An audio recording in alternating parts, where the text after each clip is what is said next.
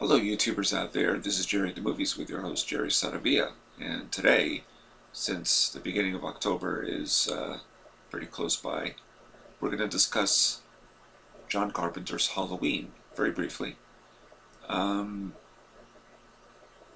it's celebrating its 35th anniversary uh, this year, even though technically it came out in 1978. So 35th anniversary would really be next year, 2013, not 2012, but still.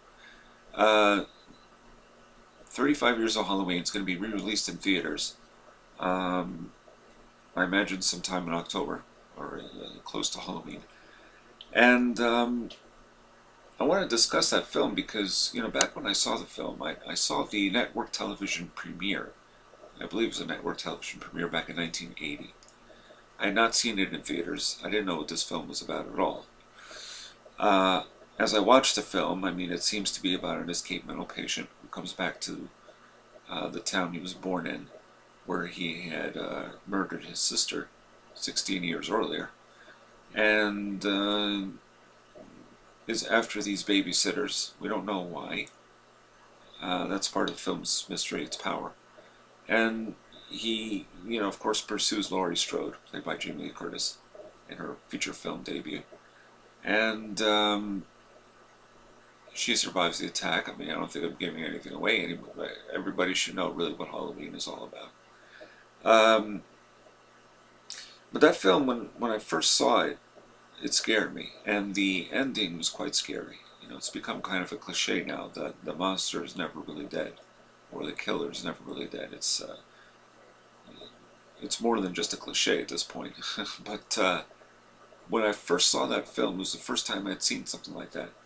Um, I mean, I guess prior to that, there was Carrie from 1976, where Sissy Spacek's hand reaches out from where the house collapsed that she was in, and there are all these rocks. But that was a dream sequence, so it didn't really mean that Carrie was actually back. But uh, it gives you a, a jolt. But Halloween, it's a little scarier because what happens is we don't know what this guy's all about. I mean, he's a mental patient. We don't know why he's back in this town. Granted, this has been explained in other sequels, which explanations weren't always necessary, but uh, um, but the film has this uh, power to it. It's its atmosphere. It, it just it's very chilling, and it's just shows how talented, supremely talented John Carpenter uh, still is. Uh, I mean, he's an amazing director. Any director who makes a film like Halloween is uh, someone to really admire because that, that film, it has just a unique power about it. it. It's hard to explain because it does it through suspense and atmosphere.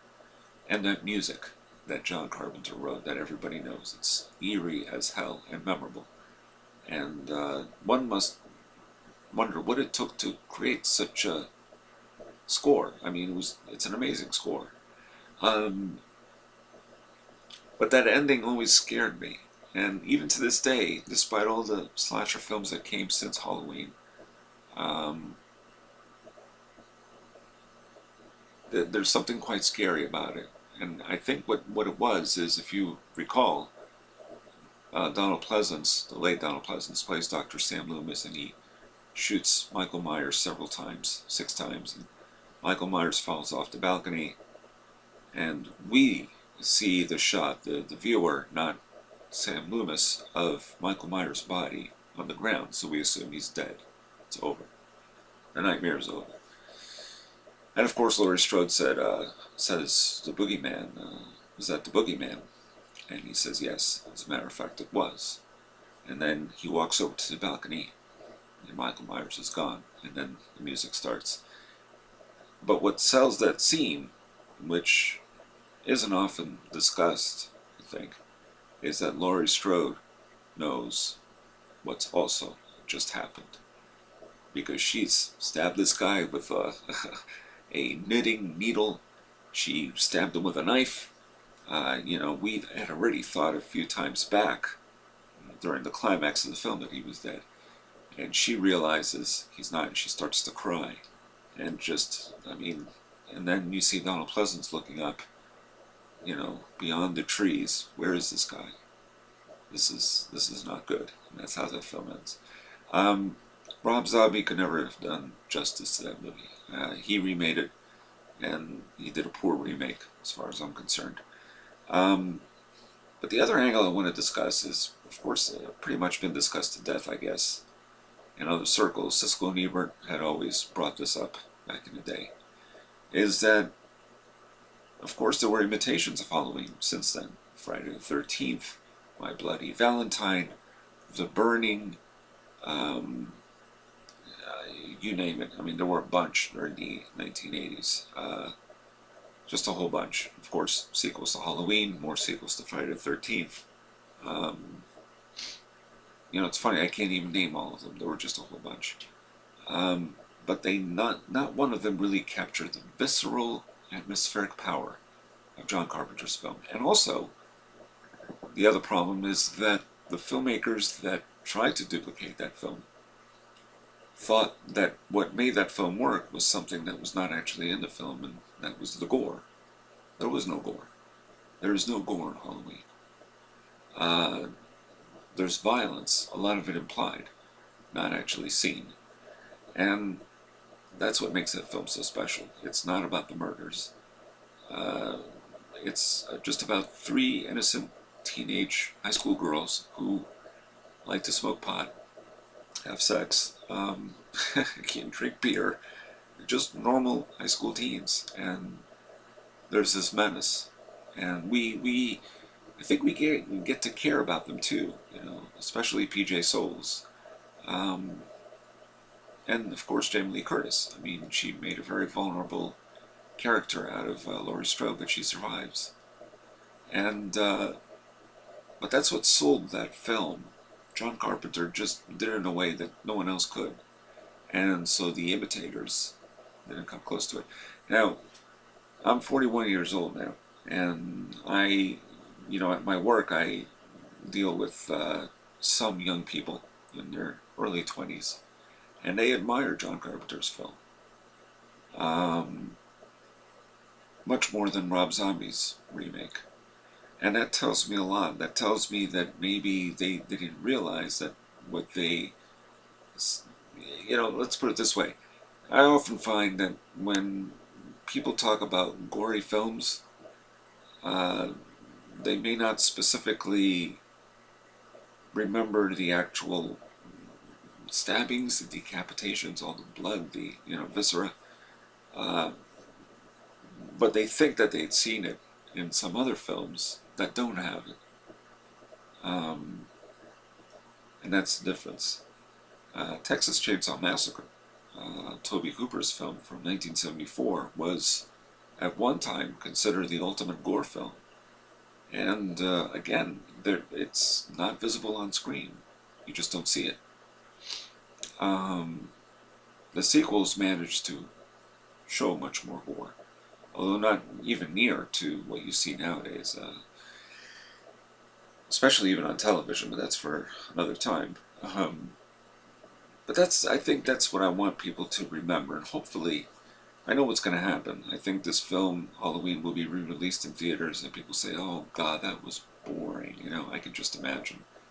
Uh, I would hope not, but I think younger people just expect the push-button mentality of one gory murder every few minutes, and then we're, we're good, you know, and... Uh, they they lose sight of the fact that horror at its best, usually, and of course there are exceptions to the rule, but uh, like The Exorcist, which is one of my, if not my favorite supernatural horror film, aside from Halloween.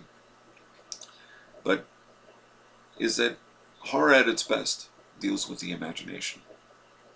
What is imagined is often scarier than what you actually see. So what you have to put mentally in your mind that you think you saw but you didn't see makes the, the experience even more vivid, especially if you're dealing with a killer on the loose. I mean, after a while, it gets boring, folks, when you see one graphic, bloody murder after another. Um, now, I have a link on here for a story I wrote, uh, which I put off for a long time, but I wrote it, and it's a screenplay. Um, and it's called Halloween, the Loomis Prophecy. And although there's technically maybe a little bit more gore than John Carpenter's film, I try to subdue that as much as possible. Um, and if you read it, you know, hopefully you'll you'll enjoy it. But it was a way of capturing what I love about Halloween, which is uh, the invocation of the supernatural. It really invoke, you know, it evokes that. It's um, that's really what that film is all about. It's the supernatural because it's Halloween. You know? um, I think some have alluded to the fact that without the mask, Michael Myers is powerless, which I thought was always interesting. It's possible. Because there's that moment when his mask is taken off uh, by Laurie Strode, and then he, you know, carefully adjusts and puts it back on his face, and then he's shot. Uh, you know, who knows? It could be. It could very well be. When he uh, kills his sister at the beginning of the film, uh, as a young boy, he's wearing a mask and he puts it on. So, uh, yeah, I, I think there's clearly something to it. It's just a haunting picture. One of the best, you know, of its kind ever. I mean, I don't really even think of it as a slasher picture, really. Um, or splatter flick. It's hardly any of those things. So now that it's approaching its 35th anniversary, I would hope people would check it out. Um, younger people hopefully can be reminded what real suspense can be. You don't need gore every five minutes to make something suspenseful, and I think that's the key. Um, so I hope people check it out. And Halloween, it's a true masterpiece in uh, in its genre. Um, nothing else comes close to that one for you know for uh, for the atmospheric power of it more than anything else. So do check it out. And uh, for those who haven't seen it, or of course if you have, uh, it'd certainly be worthwhile seeing that in a big screen. And uh, this is Jerry the Movies with your host Jerry Saravia, signing off.